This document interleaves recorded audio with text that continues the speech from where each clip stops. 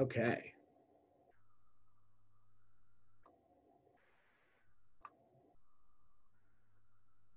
Now, this one we're going to zoom in, and if you're paying attention, you may have already seen the thing I'm trying to hide from you, but what's the diagnosis?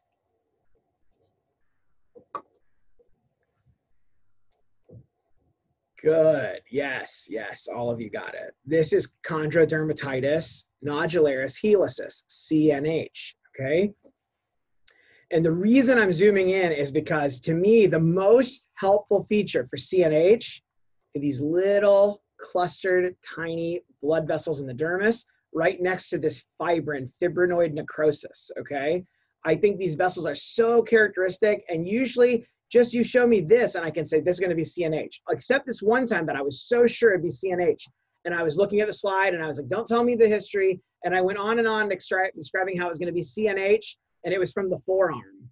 And I every time I said something was going to be CNH, I and that resident was around. Um, I always um, is Dr. McCaslin, who's graduated previously. I was always like, oh, uh, Lauren McCaslin will never believe me because I, there was that time I was so sure, and then it was forearm CNH. And I even went back, I was like, surely this is swapped. I just couldn't let go of the fact, and eventually I had to just accept that I was wrong. So maybe the vessels aren't 100% specific, but they're pretty darn good. Okay. Now let's go back to low power and start again. See, this is this is like my confession time. I get to tell you guys all the ways that I've made mistakes and messed up, and um, and it it soothes my soul, and atones for my errors. So here is cartilage, okay? And some, oh, the forearm CNH, someone asked what it was. I actually don't know. I just ended up saying there's reactive vessels and some, and obviously there was no cartilage under it since, you know, it was the forearm. But um, I could never figure out what it was. It was no tumor and I just had to be descriptive. So it was very unsatisfying for multiple reasons. And yeah, I was always embarrassed around Dr. McCaslin. Anytime I was, if she ever watches this video, she's probably going to be unhappy that I, I called her out by name, but well, here we are. So um, yeah, but every time I was like, oh, this is great CNH, and then I was like, oh, she'll never believe. She'll say, mm-hmm, I bet it's the forearm, isn't it? So anyway, it was a nice running joke. So here's the cartilage, okay, and it's great when you have the cartilage. And the idea is that CNH, for for those of you who don't know, is often a painful nodule that tends to ulcerate either on the helix or the anti-helix. And I think that I've, some people have told me the anti-helix is actually more commonly where you see it, okay? But if you see anti-helix or helix of the ear and you get um, a painful nodule clinically, the differential usually is between squamous cell carcinoma and, um, and chondrodermatitis nodularis helicus, okay? And someone asked, can diffuse dermal angiomatosis have similar looking vessels? Yes. Uh, Dr. Niemeyer, that's a great question. It can. And the, the concept here is very similar. Diffuse dermal angiomatosis, uh, for everyone here, is this, this um, uh, is a process where you get reactive proliferation of blood vessels in the dermis due to chronic ischemic change. We see that kind of pattern on the lower leg in people with arterial insufficiency over long term. They don't have good arterial flow. The leg is kind of got a chronic hypoxia, chronic low level ischemia, and the dermis is trying to compensate for that and growing new blood vessels to better oxygenate the skin. That's the basic, simple way I think of it. We also see diffuse dermal angiomatosis on the breast, on larger breasts, particularly in people that have an underlying coag issue or are smokers and they get this really brisk reactive proliferation of vessels in the dermis, okay? And I've seen similar changes in the dermis over top of calciphylaxis.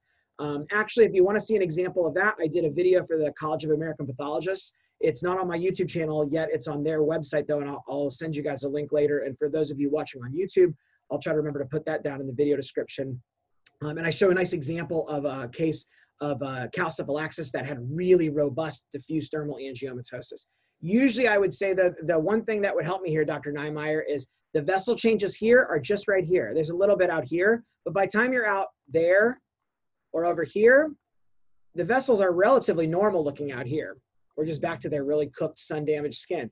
All the vascular changes are right here under this impending ulcer and near this fibrinoid necrosis. They're right around the edge. It's usually a zone of fibrinoid necrosis with a little edge of these vessels, okay? So the idea behind what causes CNH, what, what we think is that uh, particularly in older adults, and you know the ears sometimes grow larger as people get older, and as people sleep, if they sleep on their side, the idea is that the ear being compressed between the head and the pillow for hours on end at night pushes the blood basically out of the tissue, and they begin to get tissue ischemia, and that ischemia eventually starts to kill part of the dermis. And the evidence that we have for this is that we get this reactive vessel change that is the kind of vessels just like we see in in other ischemic uh, chronic ischemic conditions.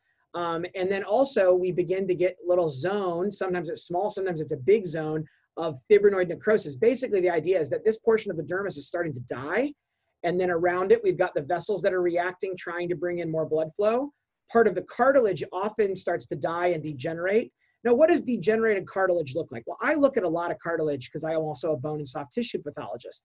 And I have a hard time, honestly, explaining. I'll tell you what degenerated cartilage looks like is cartilage underneath CNH. I know it's degenerated because I know this is CNH. So you see the cartilage being there is not really the, the take home. The take home stuff is this. That's the diagnosis there, not the cartilage. But I would say that the cartilage usually has a smooth edge and in CNH, if you begin to get kind of individual chondrocyte clusters that kind of intermingle with the fibrous layer, I think this is like perichondrium, the fibrous layer around the cartilage, and it kind of starts to kind of space out a little bit, gets more pink looking, the color kind of starts changing. But I'll tell you, cartilage can have a lot of variability in its color depending on how the H&E stain is. So from lab to lab, and even sometimes from case to case, cartilage can look different. Sometimes it's really deep purple blue, other times not so much. Sometimes it has actually a pink kind of color, even in more normal situations. So I really don't rely as heavily on recognizing the degenerated cartilage. Um, and again, I'm someone who looks at cartilage a lot. I rely on this stuff to tell me if I'm dealing with CNH, coupled with the clinical scenario. You know, it can't be on the forearm; it's got to be on the ear. But um, I think it's um, so it's nice when you see the cartilage, but you don't have to. If you just have a shave right through here and it's on the helix, that's CNH. We're done. And so then the idea is that as the dermis dies, the epidermis doesn't like having dead dermis underneath it. And so it tries to kind of reach down and grab that dead dermal collagen and fibrin and push it out. And that's called transepidermal elimination phenomenon. We see that in perforating disorders. We see that in the in foreign bodies like splinters and other foreign bodies. The epidermis opens up and tries to extrude and push that that foreign material out. And that's the same kind of concept that happens here. This stuff has become foreign and, and not what the body wants to have anymore. It's dead. So it's trying to push it out. And so sometimes in early CNH, there will be some epidermal um, acanthosis, but it won't be ulcerated yet. In more advanced examples, it will actually have a full blown ulcer. So you don't have to have the ulcer there, but if you do, it's nice. But here we have one that's kind of like right on the verge of ulcerating, or maybe it's ulcerated a little bit further back and we're just not in the right plane of section uh, to see it, okay? So nice example of chondrodermatitis nodularis helicis. Let me show you another really dramatic example of it. And again, don't expect it to look this good always. It's usually a lot more subtle. But here's one where they actually did like a wedge. And this is a case I ended up seeing in consult. I still don't fully understand why um, such a dramatic procedure was done. If they thought that if they were really worried it was a squame or if it was really painful, I don't know. The treatment, by the way, for CNH is oftentimes getting a donut pillow, right? So people lay on it and their ear doesn't get compressed and it allows the ear to not have that pressure induced ischemia. Um, what other situation causes pressure induced ischemia in the body? Not so much in the skin, but elsewhere in the body. This is good because we can tie all of these kind of unrelated diseases together with a common uh, underlying, um, you know, uh, biologic or, or pathologic concept. Yes, sacral decubitus ulcer, right, exactly. It's the same kind of concept in the decubitus ulcer and also in ischemic fasciitis, which is kind of on a, is kind of related to the changes you see under a decubitus ulcer. They both get this kind of ischemic fibrinoid necrosis and have proliferating vessels because of pressure-induced ischemia over a long time. Good. So here's the example. We can see the nice cartilage of the ear. Here's the helix up here, and look at that you can see this is a, a, really good one. It's got the acanthotic epidermis kind of reaching down. It's got the ulcer where the, the dead and dying cartilage and dermis are being pushed out. It's got those little tiny vessels clustered together right at the periphery. It's got a little bit of fasciitis like reactive myofibroblastic stuff. And then look, now that's cartilage that anyone can say that's not happy cartilage, right? It's just like fragmenting apart and, and coming out. And you can see the color change too. Look, you know, See down here, there is some pink in there, but it really gets kind of bright pink color, starts changing its color and its orientation, and it's fragmenting and breaking away and being extruded out. So definitely a really dramatic example of CNH here. And this is a great one for teaching, but I've never seen another one this dramatic, and I've never seen another one where it was wedged out with a with a you know an actual wedge that took a piece of the uh, the uh, uh, articular. I'm sorry, not articular, the uh, cartilage of the um, the helix here. So pretty dramatic example. Let's go over here to this side. and Let's see. See on this side, you can't see the ulcer. See, it's just a matter of sectioning.